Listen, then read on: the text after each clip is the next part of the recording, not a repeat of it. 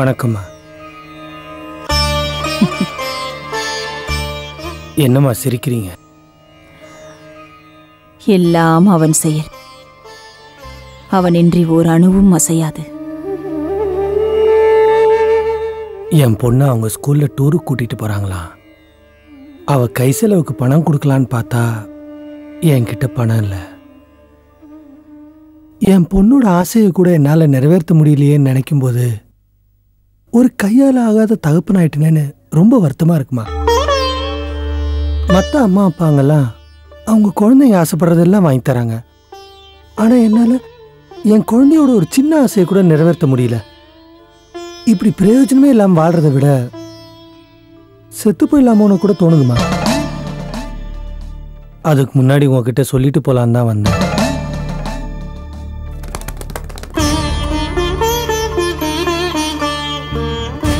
நம்மளால முடியலங்கிறதுக்காக எல்லாரும் உயிர் விட ஆரம்பிச்சிட்டா. அப்புறம் இந்த பூமியில உயிர்களே இருக்காதுப்பா. எல்லாருக்குமே எல்லாமே கிடைச்சிடுறதில்ல. அப்படி கிடைச்சிட்டா இறைவன் இருக்கான்றதே மறந்துடுவீங்களே எப்படி வாழலான்னு முடிவெடுக்கிற உரிமை மட்டும்தான் உனக்கு இருக்கு. எப்போ வாழ்க்கையை முடிச்சுக்கலாங்கிற முடிவெடுக்கிற உரிமை உன்கிட்ட இல்லப்பா. வாழறதுக்காக ஆசைப்படு. ஆசைக்காக வாழாத. வாழ்க்கையை நீ தீர்மானி. இறப்ப இறப்பே தீர்மானிக்கட்டும்.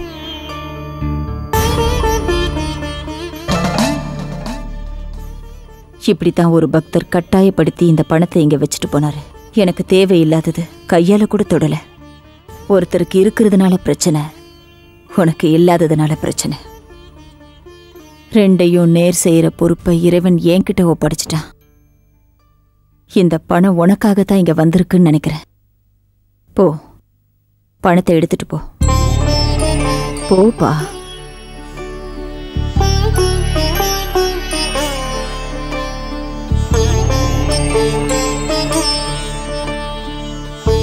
என்னால் வாழ்க்கையில் மறக்க முடியாத உதவி செஞ்சுருக்கீங்கம்மா.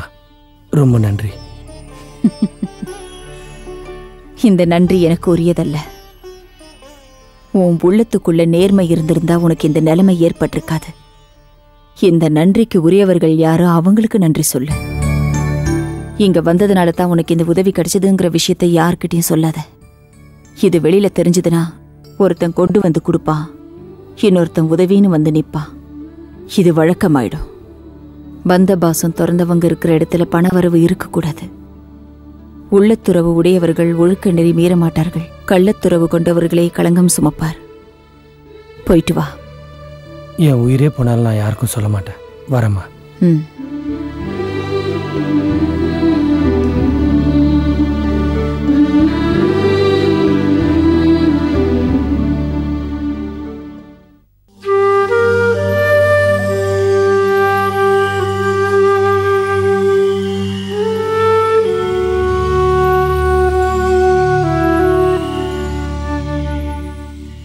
காஞ்சனா? போய் கை கால் அலம்பிட்டு வா. காஃபி போட்டு எடுத்துட்டு வரேன். வேண்டாம்மா. அதெல்லாம் ஒன்றும் வேண்டாம். என்னம்மா? தலைவலிக்குதா ஏன் பின் எப்படி இருக்க? ஆஃபீஸில் ஏதாவது பிரச்சனையா? ஆ? ஒன்றும் இல்லை.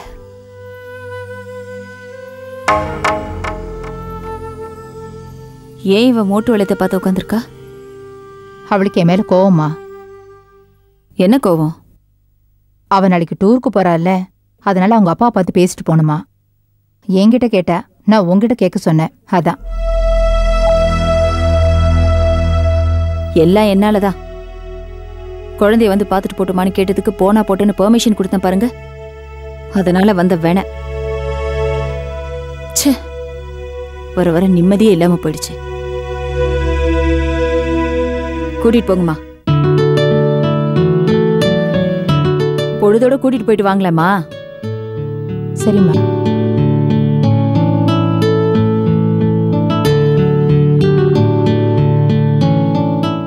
Thank you mummy.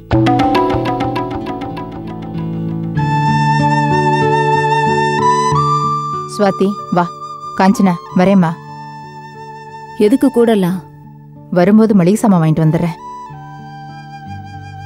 இருங்க இருங்க. ஆட்டோல போங்க. இல்லம்மா பணம் என்கிட்ட இருக்கு. நான் போயிட்டு வரேன். பாய்மா பாய்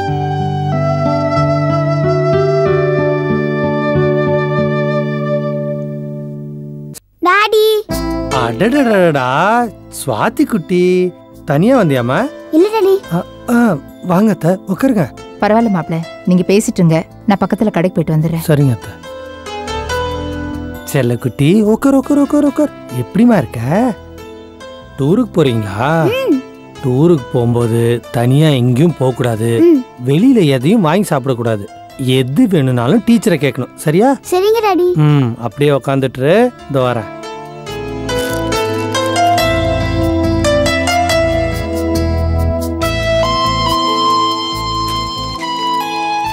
குட்டி இது புது ட்ரெஸ்ஸு.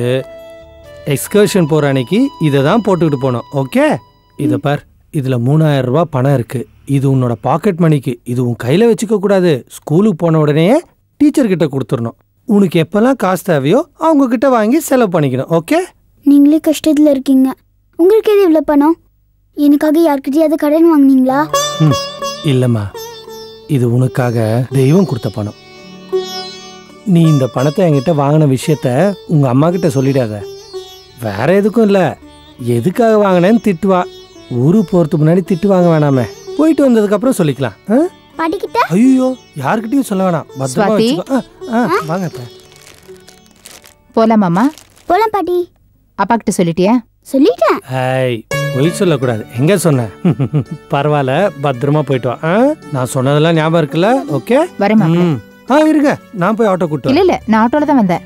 அப்படியா. சரி. சுவாதி பத்திரமா போனோம் டீச்சர் பேச்சு கேட்கணும். வெளி தண்ணி எதுவும் குடிச்சிடாத ஓகே சரியா? பாய் ஆ பாய்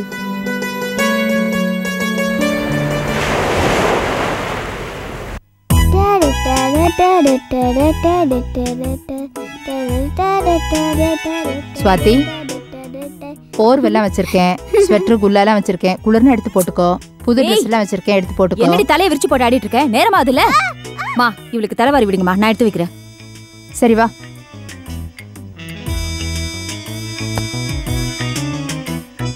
ஸ்வெட்டர் எடுத்து வச்சிருக்கீங்களாமா ஆ எல்லாம் எடுத்து வச்சிருக்கேம்மா. ஸ்வாதி ம். பாருங்க பயங்கர குளிரா இருக்கும் ஸ்வெட்டர் போட்டுக்கணும். ம் சரிம்மா. மாத்திரை எங்கம்மா? ஆ அங்கேயே வச்சிருக்கேம்மா. சாப்பிட்ட உடனே மாத்திரை போட மறக்க கூடாது ம். ஆ? இங்க பாரு மிஸ் எங்க இருக்காங்களோ அங்கதான் நீயும் இருக்கணும். நீ பாட்டுக்கு எங்க சுத்திட்டு கூடாது புரியுதா? ம். ஒழுங்கா அம்மா சொல்றதெல்லாம் கேட்டுக்க. எல்லாம் வச்சாச்சம்மா அவ்வளவுதானா? ஆ எல்லாம் வச்சிட்டேம்மா. சுடு தண்ணி தாண்டா குடிக்கணும். பச்சை தண்ணி எல்லாம் குடிக்க கூடாது மூடிட்டா? ம். அம்மம்மா ஒரு நிமிஷம். எங்க போறா? தெரியலையே. ஐயோ இந்த குளிர்ல போய் அந்த ஊரை ஏற்பாடு பண்ணிருக்காங்க அதுக்கு தான் நான் முதல்லயே சொன்னேன். வேண்டான்னு. கேட்டியே? பார்க்க பாவமா இருக்குமா? நாமளும் அவளை எங்கேயும் கூட்டிட்டு போறதில்ல. வாடி! ஆ ஆ வந்துட்டேன். என்னடி இது? அது ஒண்ணும் இல்லம்மா ட்ரெஸ் சரி கூட நான் எடுத்து வச்சிடறேன். இல்லம்மா நான் வைக்கிறேன். ஏன் நான் வச்சா என்ன அவன் கூட எடுத்து வைக்கிறேன்.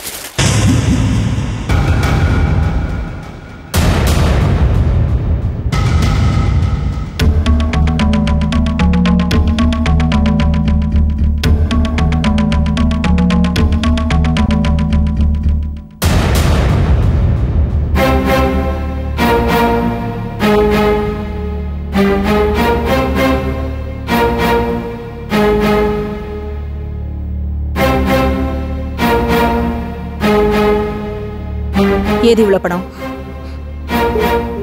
ஏது இவ்வளவு பணம்னு? அது வந்துமா அப்பா?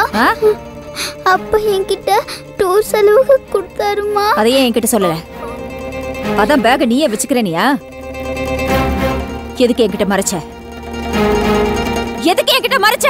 இல்லம்மா இப்ப சொன்னா நீங்க திட்டுவீங்கன்னு. டூர் போயிட்டு வந்ததுக்கு அப்புறம் சொல்ல சொன்னாருமா.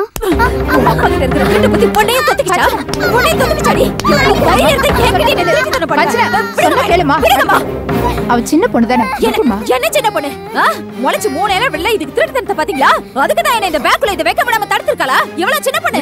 தெரியாம இந்த. விஷயம் உங்களுக்கு தெரியுமா? நீங்களும் சேர்ந்து மறைச்சிருக்கீங்களா சத்தியமா தெரியாது அவர் பணம் கொடுத்த விஷயமே எனக்கு தெரியாது. அப்போ இவன் நம்ம ரெண்டு பேரையுமே முட்டாளாக்கி இருக்கா? இவ்வளவு சின்ன பொண்ணு இவ்வளவு சின்ன பொண்ணு.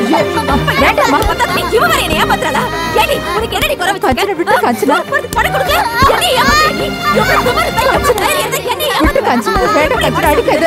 என்ன? கேளு கஞ்சனா விட்டு அவள? குழந்தை தானே? கொடுத்து கொடுத்து தான் இது குட்டி சவர போயிடுச்சு. கஞ்சனா சொல்றது கேளு. ஒரு தடவை மன்னிச்சிரு என்ன கஞ்சனா ஒரு தடவை மன்னிக்கிறது? எவ்வளவு பெரிய தப்பு பண்ணிருக்காவ? மன்னிக்கிற தப்பா பண்ணிருக்காவ? பாவம் கஞ்சனா இவள இவனுக்கு கஞ்சனா வேண்டாம் வேண்டாம் வேண்டாம் வேண்டாம் பாவம் புள்ளையாச்சுன்னு செல்லம் கொடுத்து கொடுத்து ஏய் இவள. உள்ள போ தூரம் இல்ல கிடையாது விடுங்கம்மா இவள. இது பாருமா என்ன கேட்காம நீங்க அவளை எங்கேயும் அனுப்ப கூடாது சரி. ஒரு பச்சை தண்ணி கூட குடுக்க கூடாது ஏய் போடி இவள சரிம்மா. உள்ள போடி. இந்த வயசுல பொய்ய சொல்ற என்கிட்ட. எதுவுமே எனக்கு சரி கிடையாது. புருஷனும் சரியில்லை புள்ளையும் சரியில்லை. முளைச்சு மூளையில விடல ராஸ்கல் என்கிட்ட போய் சொல்றியா? பணத்தை வாங்கி வச்சுட்டு எங்க வந்தது உனக்கு எவ்வளவு திமிரு? என்ன செல்ல கொடுக்குறேன்னு பாக்குறியா? ராஸ்கல் கொன்னுடுவேன். எனக்கு வேணாம் இப்படி ஒரு புள்ளை எனக்கு வேணாம்.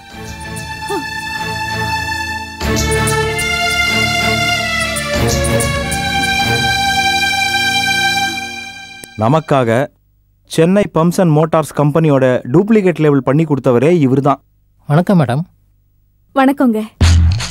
அவங்க கம்பெனி பேர் போட்ட மெட்டல் லேபிளை எங்கள் கம்பெனி மோட்டாரில் ஃபிக்ஸ் பண்ணி சென்னை பம்ப்ஸ் மோட்டார் கம்பெனி லோடோட கலந்து அமிச்சிட்டோம்.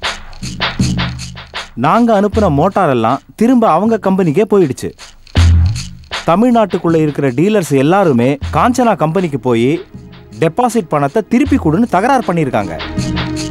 அது மட்டும் இல்லை நம்ம எதிரி காஞ்சனாவுக்கு கெடு வச்சிருக்காங்க. அவ அழிவு ஆரம்பமாயிடுச்சு. ஆரம்பம் இல்லை மேடம். முடிஞ்சே போச்சு. எஸ் இதோட அவ வாழ்க்கை முடிஞ்சிடும் சென்னை பம்ப்ஸ் ஒரிஜினல் மோட்டார்ஸில் என் கம்பெனி லேபிளை ஒட்டி மார்க்கெட்டில் விட்டதில் நல்ல சேல்ஸ் ஆயிருச்சு.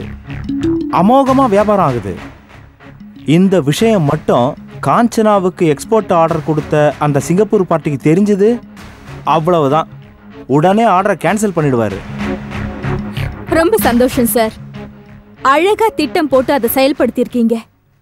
இதுதான். இதுதான் உங்ககிட்ட எனக்கு ரொம்ப பிடிச்சிருக்கு. தேங்க்யூ மேடம்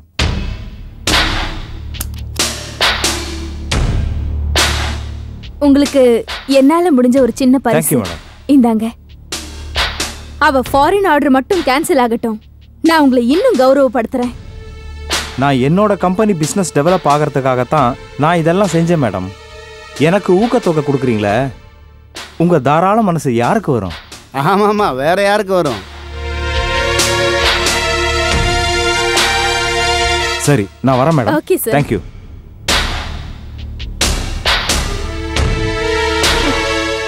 Kanchana இதோட அழிஞ்சா. இனிமே இந்த கவிதாவோட ராஜ்யம்தான். என்ன வைத்தி சார்? சாமி கண்ணு ரெண்டு சம்பளம் வாங்கினார்னு பொறாமப்பட்டு புலம்புனீங்களே. அவரை பாத்தீங்களா அவருக்கு டேலண்ட் இருக்குன்னு ப்ரூவ் பண்ணிருக்காரு. ஆனா உங்களால என்ன பண்ண முடிஞ்சது? பொசுங்கி பொசுங்கி புலம்புனீங்களே. என்ன செஞ்சீங்க? இல்ல மேடம் நான் என்ன சொல்ல. வரேன்னா அடுத்தவன் சம்பாதிக்கிறான்னு வாயிலையும் வயித்துலயும் அடிச்சுக்காதீங்க. முடிஞ்சா நீங்களும் சம்பாதிங்க. சாமி கண்ணு கொண்டு வந்த ஆளால தான் நாம நினைச்சதை சாதிக்க முடிஞ்சது. சரி அது போகட்டும். இதுக்கு மேல நான் என்ன சொன்னேன்னு ஞாபகம் இருக்கா? இருக்கு மேடம். ம். அதே மாதிரி பண்ணுங்க. இந்த விஷயம் தமிழ்குமரனுக்கு தெரியக்கூடாதுன்னு நான் அவரை எஸ்டேட் வாங்குற விஷயமா கொடைக்கானலுக்கு அனுப்பியிருக்கேன். அவர் வந்த பிறகும் அவருக்கு இந்த விஷயம் தெரியக்கூடாது. தெரியாம நீங்க பாத்துக்கணும். நான் சொல்லவே மாட்டேன். அவருக்கு எனக்கு தான் ஆகாத. நான் எப்படி சொல்லுவேன்? அது மட்டும் இல்ல. இந்த விஷயத்த அவரா தெரிஞ்சுக்கவும் நான் விட மாட்டேன் நான் பாத்துக்கிறேன் மேடம். நீங்க கவலைப்படாதீங்க.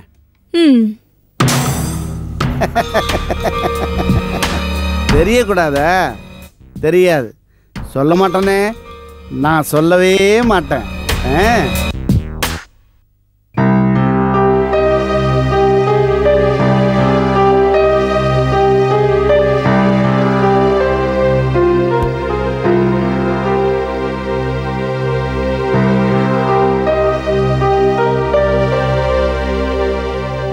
Good morning madam good morning good morning sir உட்காருங்க.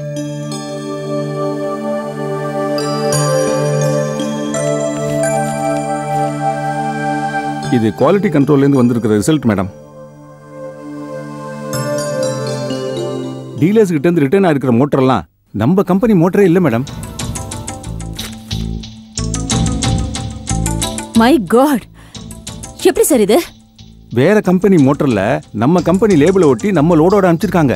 இது திட்டமிட்ட சதி மேடம். எப்படி சார் எப்படி இது நடந்திருக்கும் யார் இதை பண்ணிருப்பாங்க மார்க்கெட்டிங்ல தான் ஏதோ தப்பு நடந்திருக்கு. நம்ம இடத்துல இருந்து எந்த சரக்கும் போகல. நம்மதெல்லாம் ஜெனுவின் ப்ராடக்ட் எப்படி கலப்படம் ஆச்சுன்னு போலீஸ்ல ரிப்போர்ட் பண்ணி தான் கண்டுபிடிக்கணும். உங்க ஃப்ரெண்டு மரியா கிட்ட சொல்லி நடவடிக்கை எடுக்க சொல்லாமே. சார் போலீஸ்க்கு போறது ஒன்றும் பெரிய விஷயம் இல்ல. நம்ம போயிடலாம். போய் கம்ப்ளைண்ட் கொடுத்தா இது சம்பந்தப்பட்ட ஆட்களை போலீஸ் அரெஸ்ட் பண்ணும். அது நம்ம கம்பெனி ஆளா இருந்துட்டா? இப்போ அந்த ஒர்க்கர்ஸால ஸ்ட்ரைக் நடந்தப்போ நமக்கு ஆதரவா இருந்தது அந்த குடும்பத்துல உள்ளவங்க தான். இவங்களை அரெஸ்ட் பண்ணிட்டாங்கன்னு வைங்க. அவங்க பொண்டாட்டி பிள்ளைங்களுக்கு நாம தானே சார் பதில் சொல்லியாகணும். சோ அவசரப்பட்டு எந்த முடிவையும் நாம எடுத்துட முடியாது. ஏன்னா இது நம்ம குடும்ப பிரச்சனை. இதுல இன்னொரு பிரச்சனையும் இருக்கு. இப்ப நம்ம போலீஸ்க்கு போனோம்னு வைங்க.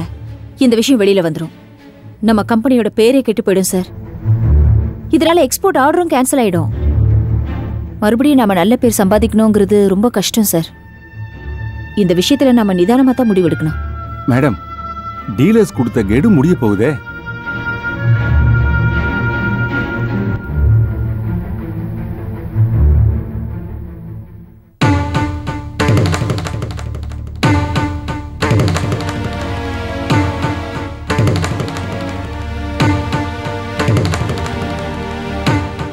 கடவுளையும் கடவுளுக்கு சமமா நினைக்கிற என் அம்மாவையும் தான் நான் நம்புறேன். இந்த பிரச்சனை தீர நீதான்ப்பா வழிகாட்டணும்.